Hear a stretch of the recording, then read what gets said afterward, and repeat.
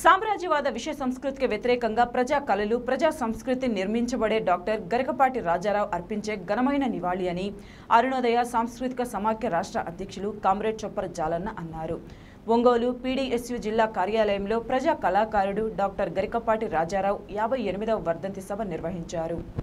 ఈ వర్ధంతి సభలో కామ్రేడ్ జాలన్న మాట్లాడుతూ కళ కళ కోసం కాదని కళ ప్రజల కోసమని చాటి చెప్పిన నిజమైన ప్రజా కళాకారుడు కామ్రేడ్ గరికపాటి రాజారావు అని అన్నారు. కేంద్ర రాష్ట్ర ప్రభుత్వాలు సామ్రాజ్యవాద విష సంస్కృతిని ప్రజలపై రుద్ది ప్రజల్ని మరింత మూఢనమ్మకాల వైపు పయనించేలా చేస్తుందన్నారు.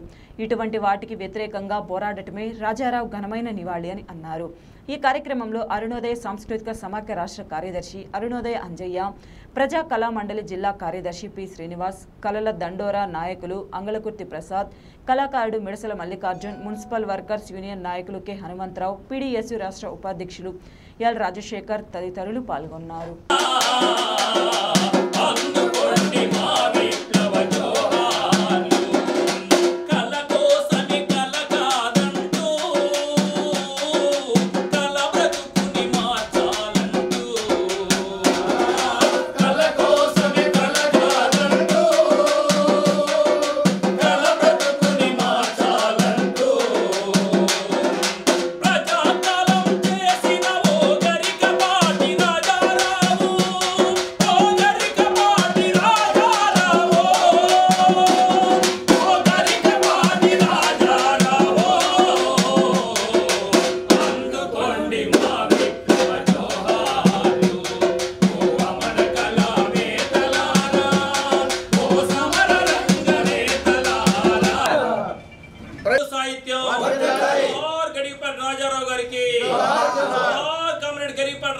సామ్రాజ్యవాద విష సంస్కృతికి వ్యతిరేకంగా ప్రజా కళల్ని ప్రజా సాహిత్యాన్ని ఆట పాట మాటను ప్రజల వద్ద ప్రజల వద్దకు చేర్చటమే డాక్టర్ గరికపాటి రాజారావు గారికి అర్పించే నిజమైన నివాళి. అరుణోదయ సాంస్కృతిక సమాఖ్య ఆధ్వర్యంలో గరికపాటి రాజారావు గారి యాభై ఎనిమిదవ వర్ధంతిని ఈ ఆఫీసులు జరుపుకుంటున్న సందర్భంగా దీంట్లో భాగంగా ప్రజా కళామండలి ప్రజా నాట్య మండలి అందరూ కలిసి చేస్తున్నటువంటి ఆయన ఆయనకి ఇచ్చేటువంటి నిజమైన నివాళి.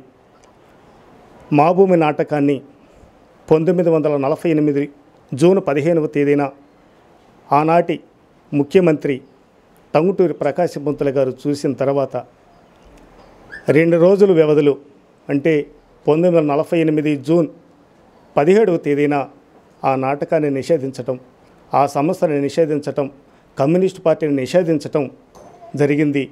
ఆ నిషేధంలో భాగంగానే దాదాపు రెండు సంవత్సరాలు ఆ నిషేధాన్ని కొనసాగించింది ఆనాటి కాంగ్రెస్ ప్రభుత్వం.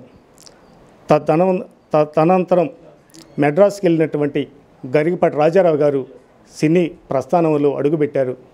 అక్కడ నుంచి ఆయన వెనుదిరగకుండా పుట్టిల్లి సినిమా నుంచి ఎంతోమంది కళాకారుల్ని వెండితెరకు పరిచయం చేసినటువంటి ఘనత ఆయనకే దక్కుతుంది. దానిలో జమున గారు అల్లు రామలింగయ్య కాకరాల ఇంకో ఎంతో ఎంతోమందిని ఆయన కళాకారులుగా తీర్చిదిద్దినటువంటి గనుడు ఆయన పంతొమ్మిది వందల అరవై మూడు సెప్టెంబర్ ఎనిమిదవ తేదీన గుండెపోటుతో మెడ్రాసులో మరణించారు.